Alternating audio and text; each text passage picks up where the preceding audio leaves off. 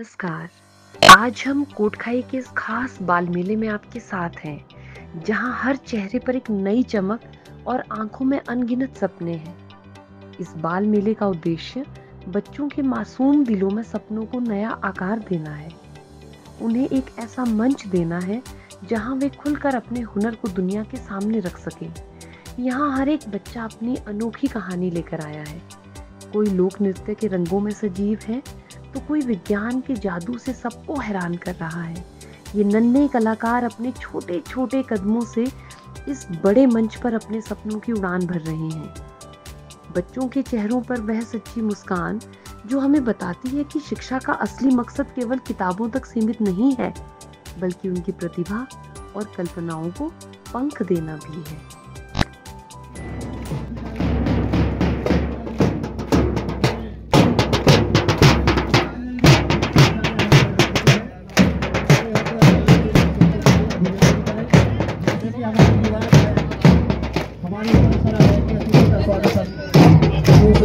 करते हैं उसी क्रम में स्वागत किया जा रहा है सभी पीछे तालियों से करें अभिनंदन करें उनके साथ है मिस्टर चत्रा जी को यहाँ के अभी केंद्र मुख्य शिक्षक है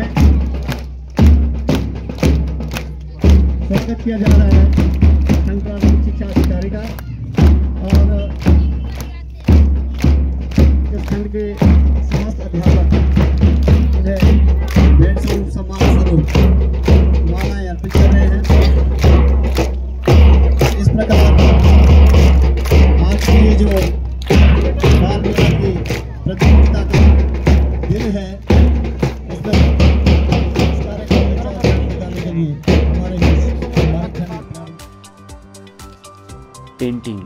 ऐसी पहली एक्टिविटी है जिसे हर माता पिता को अपने बच्चों को शामिल करना चाहिए। वास्तव में बच्चे भी इसमें दिलचस्पी लेते हैं। भला किस बच्चे को रंग पसंद नहीं होते हैं? हर बच्चा शुरू से ही रंगों से खेलना चाहता है। पेंटिंग की सबसे बड़ी खास बात यह है कि इससे बच्चे की सोच विकसित होती है, जो रंगों में ढलकर पेपर पर नज़र आती है।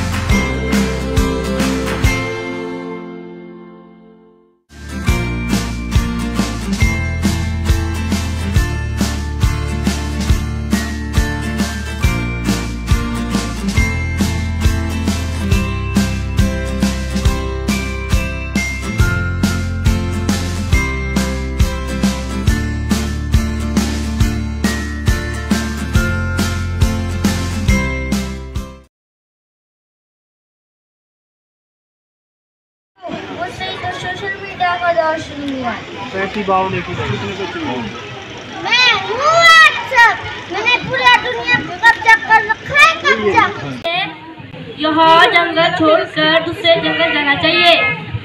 हाँ महाराज ये ठीक बोल रहा है।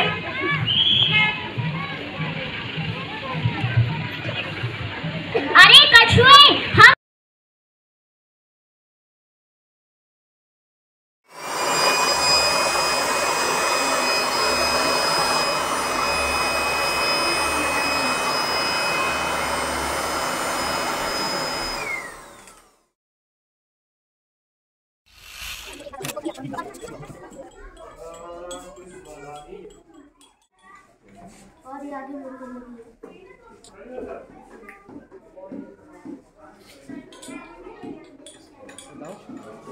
सुद्यांशु कौन से स्कूल से बेटा आप?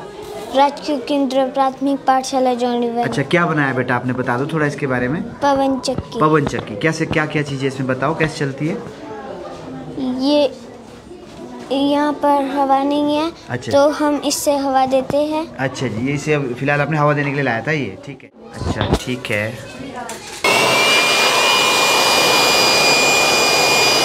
कैसे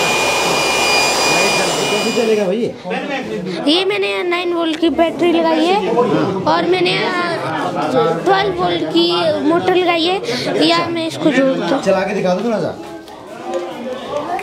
हाँ दूर है ना पर थोड़ा। क्या बात है जी। घास काटा है इसे आपने? अच्छा ठीक है ऐसे करता है फिल्ट्रेशन ये।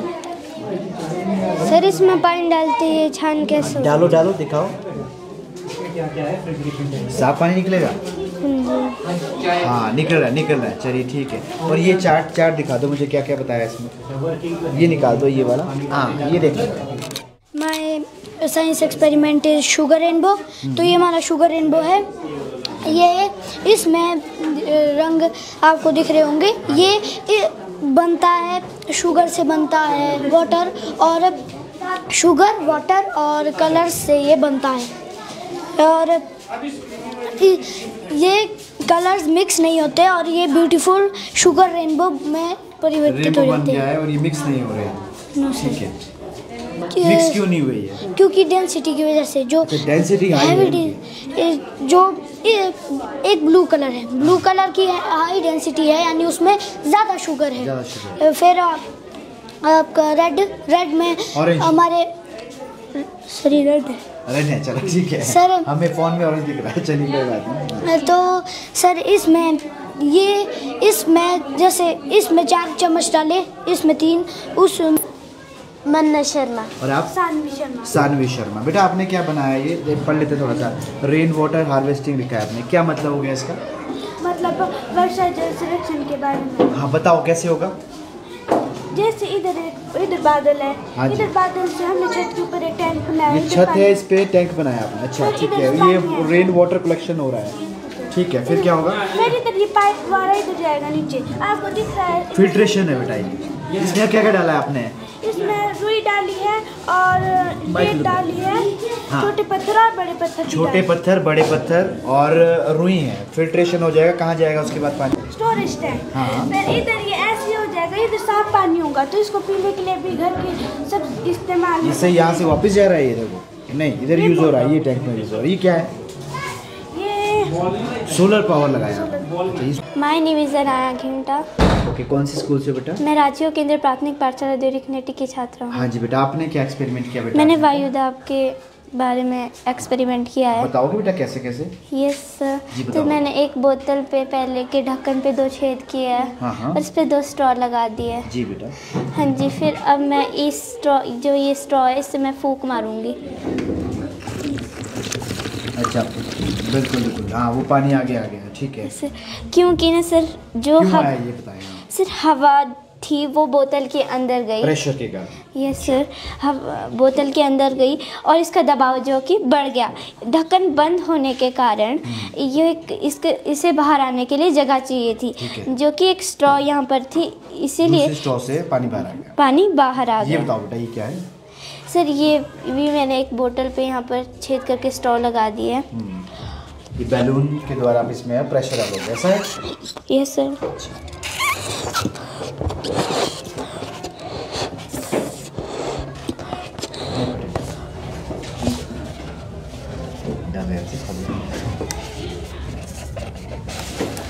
हेल्प कर लेता हूँ अरे दोबारा दोबारा। ऐसे ही पकड़ो। अच्छा मैं समझ गया हूँ आप कह रहे से एयर जाएगी तो पानी बाहर आएगा ना? ये सर ये कहना चाह रहे हो? ये सर बोतल में पानी पे हवा का दबाव होता है जो हाँ ये बैलून आपने लगा दिया और ये पानी बाहर आ गया। ठीक है बेटा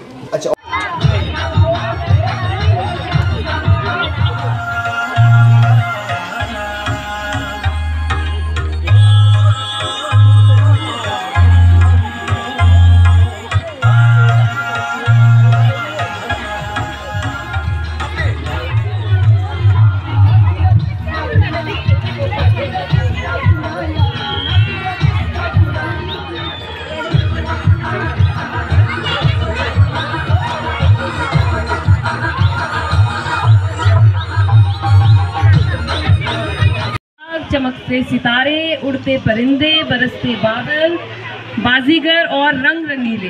ठीक है? तो क्विज के रूल आपको पता है? आप क्विज के रूल आप सुन लें। ठीक है? अभी हम स्टार्ट करने से पहले रूल सभी बच्चे यहाँ ध्यान दें क्विज वाले बच्चे। आपको आपके टोटल जो है छह राउंड होंगे। ठीक है? और ये छह टीम्स के बच्चे अभी फाइनल जो क्विज है वो खेलेंगे। तो हमारे जो खंड शिक्षा प्रारंभिक अधिकारी है, वो बच्चों से मिलते हुए।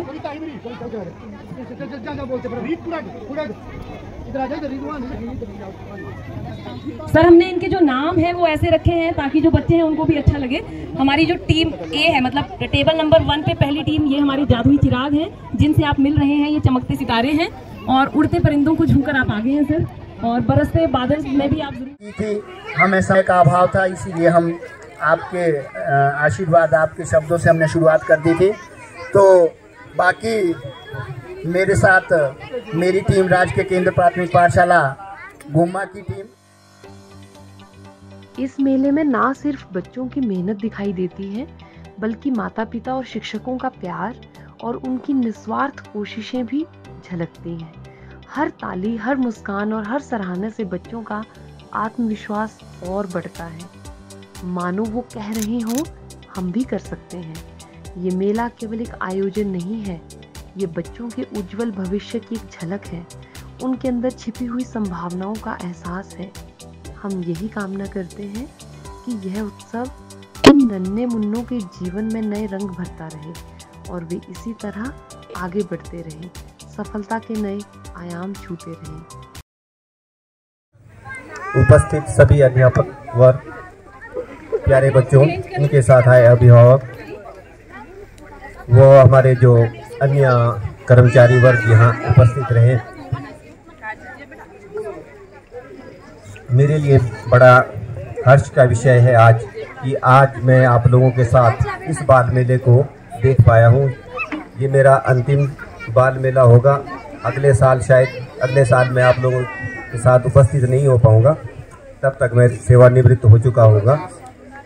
उससे पहले मैं आप सभी का बहुत बहुत धन्यवाद करना चाहूँगा कि आप लोगों ने इतने कम समय में जिस मेहनत, कड़ी मेहनत और परिश्रम के साथ इसको बहुत बखूबी, बहुत ही सुंदर तरीके से निपटाया है, उसके लिए मैं सभी अध्यापक साथियों का बड़े सुंदर तरीके से, बहुत ही अच्छे तरीके से निपटाया है। उसके लिए मैं उनका सभी का और भी जो भी अध्यापक यहाँ पर आए हैं, जिन्होंने आज पूरे दिन पर इस पे काम किया है, उसमें चाहे नेहा जी है, चाहे यहाँ पर हमारे आत्माराम जी हैं, सभी अध्यापक, सभी आप लोगों का बहुत बहुत धन्यवाद बहुत बहुत आभार। प्यारे बच्चों, आपने जिस तन्मयता के साथ, जिस मेहनत के साथ यहाँ पर अपना, अपनी जो प्रस्तुति दी है, उसके लिए आप लोगों को बहुत बहुत बधाई, और जो जीते हैं, जो जिनको प्राइज मिल रहा है, उनके लिए बहुत